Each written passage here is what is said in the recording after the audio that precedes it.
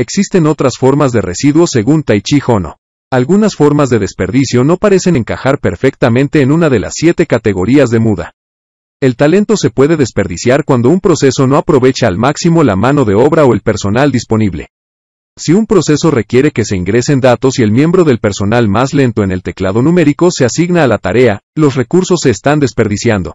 El talento desperdiciado es más una preocupación para el liderazgo y los recursos humanos que para los especialistas en mejora de procesos, aunque los expertos en Six Sigma deben ser conscientes de que la forma en que se manejan los recursos de personal puede afectar drásticamente la eficiencia de un proceso. También puede ocurrir con las ideas, cuando los pensamientos y las ideas de las personas se descartan, no se buscan o se apropian indebidamente de una manera que no tiene sentido. Los equipos de liderazgo y proyectos a menudo pueden pasar por alto a los expertos en la materia que tienen una visión detallada de un proceso y, como tales, podrían ofrecer conocimientos e ideas de primera mano. Green o Black Belts a cargo de proyectos pueden facilitar menos desechos de ideas al alentar a los expertos en la materia a contribuir y alentar a los líderes a buscar todas las ideas antes de avanzar con el cambio.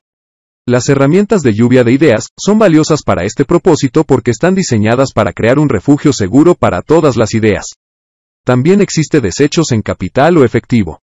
Me explico, ahorrar para un día lluvioso es inteligente, pero el efectivo bancario cuando hay ganancias que ganar no siempre es la decisión correcta. Se produce una gran cantidad de capital o efectivo cuando el liderazgo decide no invertir en mejoras que crearían un flujo de efectivo adicional.